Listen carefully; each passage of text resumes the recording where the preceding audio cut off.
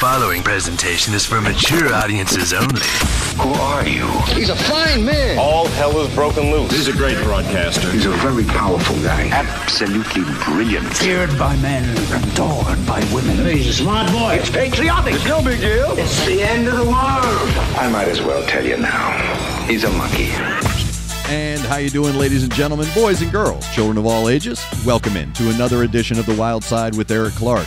I am your host, Eric Clark, saying thank you for taking time out of your busy day to give my video a watch and a listen. If you like it, like it. If you think other people are going to dig it, give it a share. Make sure you're subscribed to the YouTube channel, hit that notification button for the live stream notifications, and of course, smash the like button.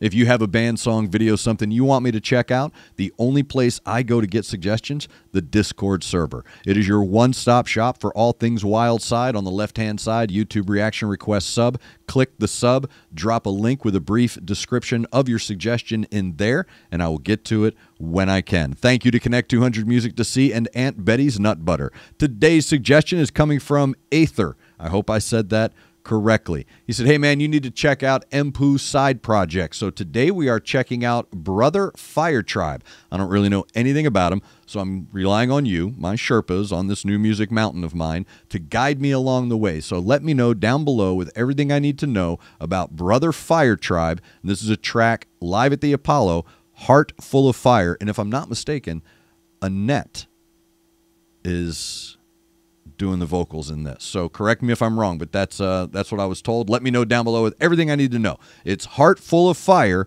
and this is Brother Firetribe. And we're going to check it out on the Wyldeside. Here we go.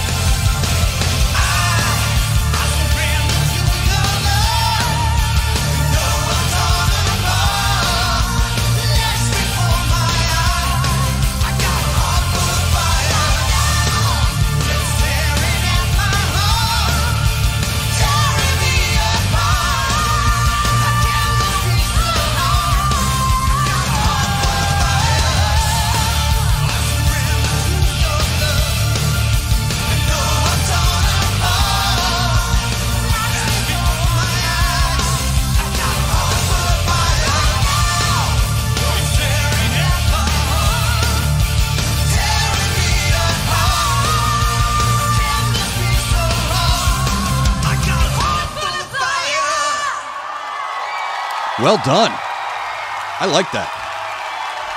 I like that. That is Brother Firetribe, Heart Full of Fire, live at the Apollo. Let me know down below with everything I need to know about it. Oh,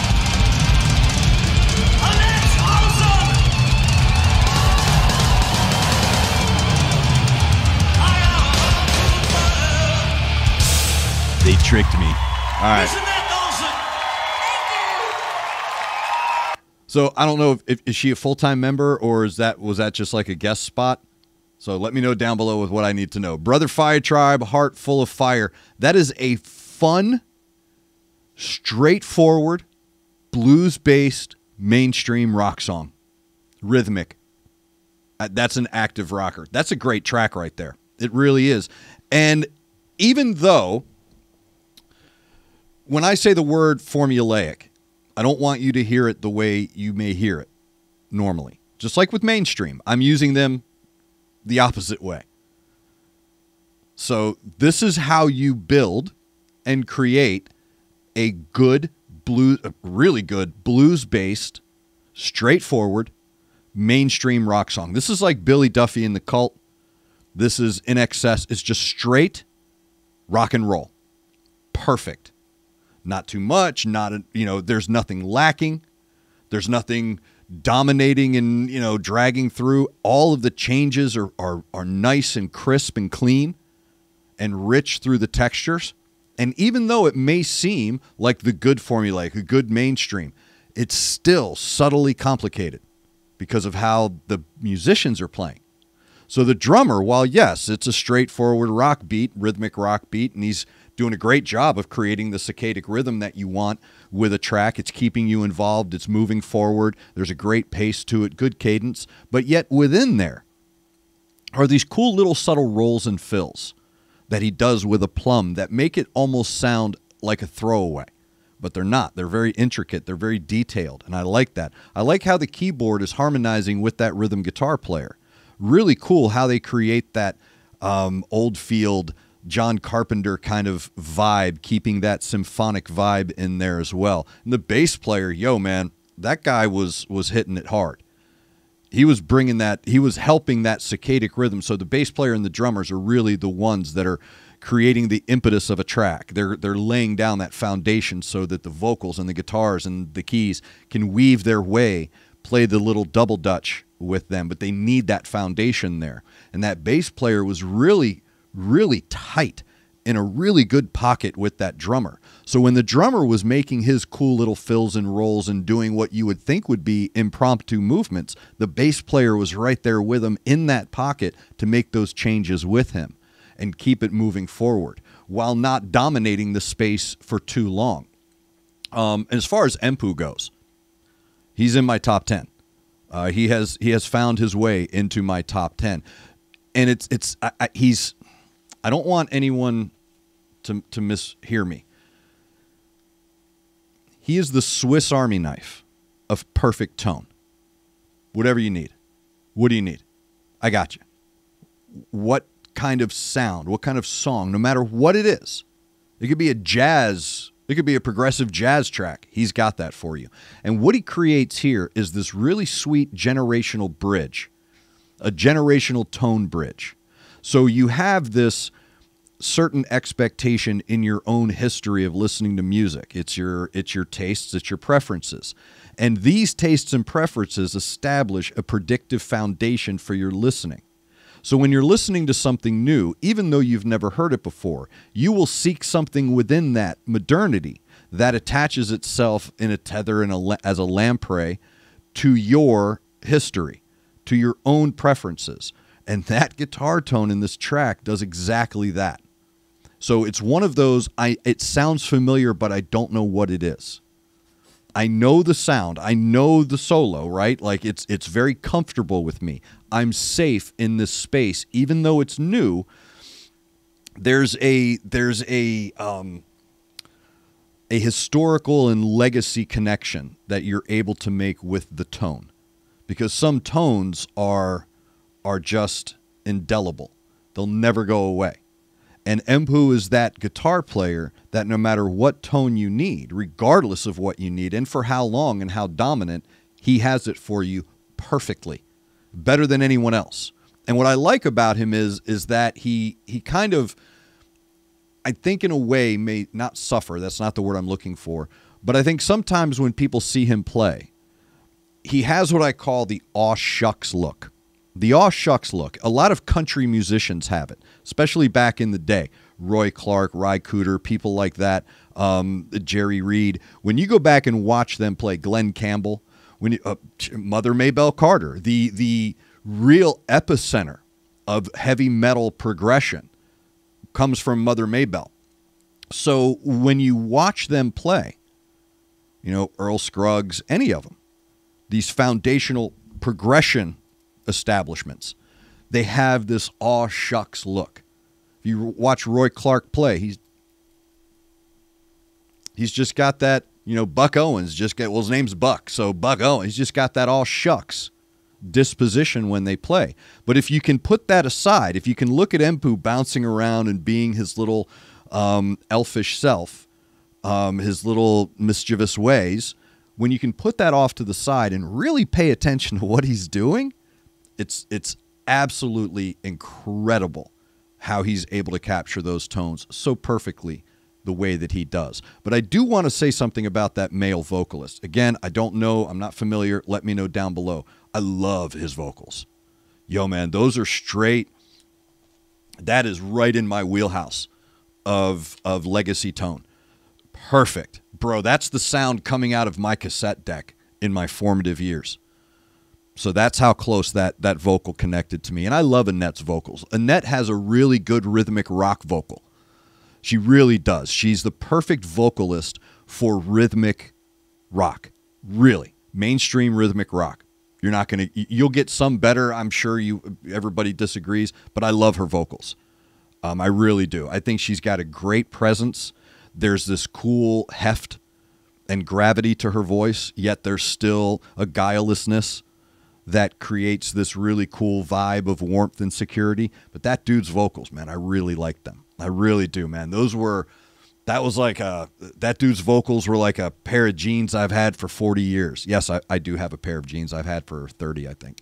Um, but like my my jean jacket, you know, just it's me. It's a part of who I am. It's a part of the very makeup of my DNA. Is that tone? And that guy captured it perfectly. And I like him, man. He's a good front man. Uh, he's got a really good presence to him, and that energy that he has comes through in his vocals, and it adds a little bit different of an ether and energy to what he's already creating. So he's creating this really cool, rich, historic texture, but he's also giving you this really sweet energy around it that moves you forward throughout the track. So very well done. Thank you to Aether. I really hope I said that name correctly. He got me, they got me. I'm going to say they. They got me the suggestion over on Discord for Brother Firetribe, and that is Heart Full of Fire. So thank you very much, Aether. If you have a suggestion for a band song or video, get over to Discord on the left hand side, YouTube reaction request. Drop a link in there with a very brief description of your suggestion, and I'll get to it when I can. Thank you to Connect 200 Music to See and Aunt Betty's Nut Butter. Thank you to all of you for taking time out of your busy day to hang out with me on the east side of Nashville. Make sure you're looking out for each other. Make sure you're looking out for your neighbor. Try to do at least one good thing a day. I am Eric Clark, and this is The Wyldeside.